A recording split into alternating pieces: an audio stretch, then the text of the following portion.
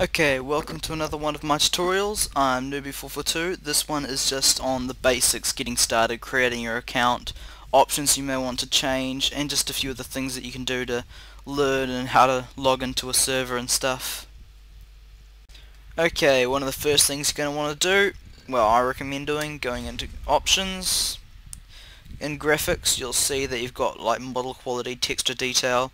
I put all them to zero for the distance to zero. Those things don't affect your performance, you can't get stuck on them or anything. But world draw distance and object draw distance is like buildings, players, rocks and stuff, so you want to have them on maximum. That's what I recommend anyway.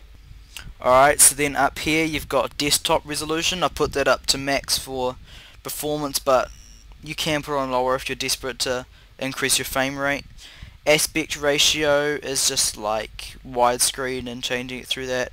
Anti-aliasing texture filtering that sort of stuff and then just full screen vertical sync stuff like that. Alright going into sound you'll see that we have master volume sound effect volume interface volume music volume voice chat volume. You'll see that voice chat volume is on zero but that doesn't really matter because it's bugged and no matter what it's on so you can put it up to full and it'll still be on zero nothing happens when you put it on to high. Alright, and disable voice tips does not work I found, so I just put the volume down to zero and that does work. Um, then you've got the sound quality which is also bugged, you cannot put it on high, well I can't anyway, every time I try it just stops me and puts it back down to normal anyway, so I can't really be bothered. Because if I press OK, it'll think that it's saved it, but if I go back under options, it's back to normal. Alright, so then you can go into controls, it's just your setup, you've got your binds for general and player and stuff, you've got inventory usage, in my combat guide I've, I've run through some of these things telling you what they do and stuff, so I recommend checking that out as also if you're very new and you just started playing Savage 2. Okay, then on to gameplay, you've got the mouse sensitivity, camera smoothing, angle smoothing, field of view, I put my camera angle smoothing to zero and my camera position smoothing to zero because I like to be able to turn around quickly and not have that sort of delay in the mouse. I like to be able to turn around quickly and hit people behind me. I find it helps me a lot in combat but personalize it to how you like to play. Alright then you got invert mouse which you probably know what invert means. Third person gun so that you see over the shoulder with a target in the middle of the screen when you're shooting instead of going into first person mode. And hold down charge key to maintain charge. I recommend doing this because it makes it much easier. I don't like the double tap keys to charge and dodge. Alright then on to gamepad. I don't use a gamepad but if you want to you could enable gamepad set up your gamepad.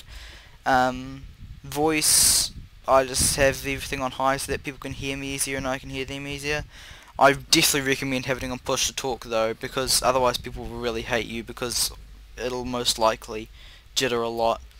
And yeah not much else to be said about that.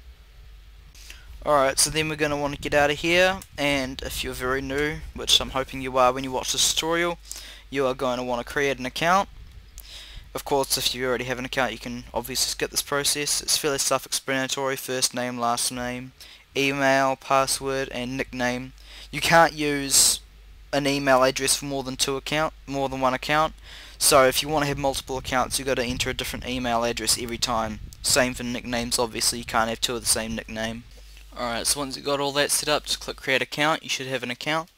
Now, if you want, before you can go into that, you can go into local, and you can say create a game, you can have a look at some of the maps. I've got quite a few because I've downloaded some, and I do a lot of server work and stuff.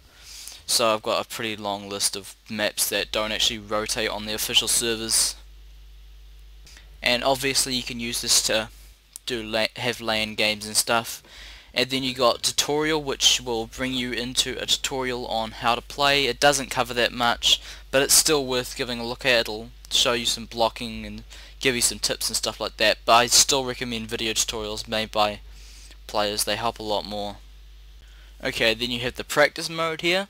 This will put you into uh, offline single mode like game. There's obviously no storyline, it's just a place where you can familiarize yourself with skills and units and stuff. One day when the internet out I spent like all day just practicing blocking against AI but it didn't help me in game that much because obviously players use different styles. Alright, as for replays, funnily enough, quite a few of the slightly older members that have been playing for about one or two months, maybe a little longer, don't actually know how to use the replays option.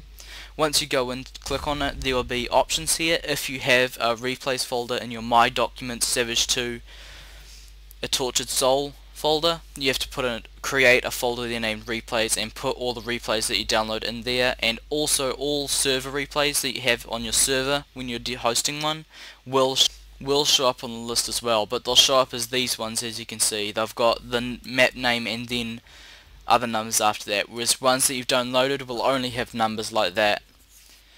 And then we can move on to obviously that covers everything there apart from quit which is very self-explanatory. And then you get on to logging in alright so once you log in actually I'll go back and click on again. You'll see that it brings up this where it checks for updates. If you have just installed the game you'll most likely have to update if you install the earlier version and that'll get you up to date and then you can log in with a create account you created and then once you log in you will be presented with the servers page where you get to pick your server and stuff like that